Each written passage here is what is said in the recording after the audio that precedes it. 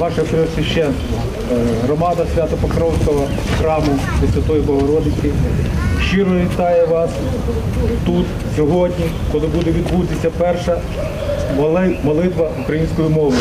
Так голова парафіяльної ради Юрій Смаль зустрічає єпископа Хмельницького та Кам'янець-Подільського Павла біля Свято-Покровського кафедрального собору, де тиждень тому проголосували за перехід до Православної церкви України. Перше в історії Свято-Покровського кафедрального собору у ньому проводять святкове богослужіння українською, розповів єпископ Хмельницький та Кам'янець-Подільський Павло. і утверди його, його ж бо насадила, правиця твоя.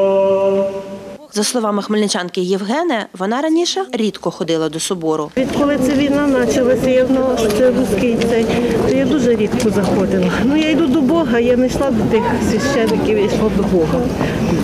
А зараз буду ходити. Це добре, що перейшли на Україну.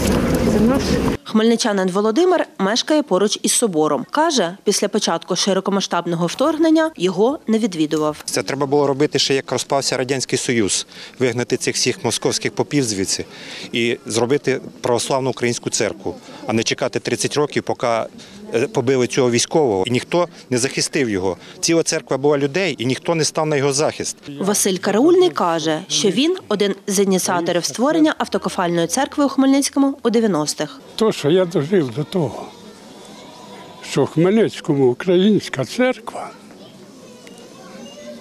то в мене сльози на очах. Я вже дожив, що в Хмельницькому українська церква в головному храмі.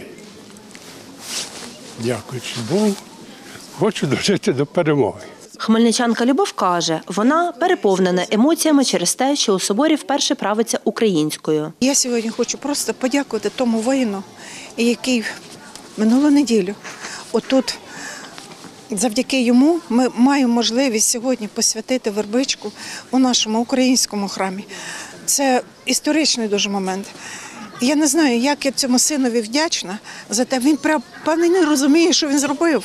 За словами голови парафіяльної ради Свято-Покровського кафедрального собору Юрія Смаля, це богослужіння історичне для Хмельницького. Оскільки кафедральний собор, який будували всі хмельничани, він врешті-решт перейшов під е, е, Православну церкву України. І це дуже важливо, і це святкове. Як розповів Юрій Смаль, документи про перехід собору до Православної церкви України подали в п'ятницю 7 квітня. Вони вже знаходяться на реєстрації. Я думаю, що до Великодня е, всі юридичні процеси встановлення і оформлення юридичного статутів, е, все інше будуть заформлені. Нам пообіцяли принаймні- в обласній військовій адміністрації, що воно буде все завершено до Великодня. Інвентаризація пройшла тільки е, в кафедральному соборі, бібліотека, деякі приміщення. Просто не вистачає сил. Попередні священнослужителі Свято-Покровського кафедрального собору не виявили бажання перейти до Православної церкви України, розповів єпископ Хмельницький та Кам'янець-Подільський Павло. хор, який виконував ці святкові піснеспіви, богослужіння.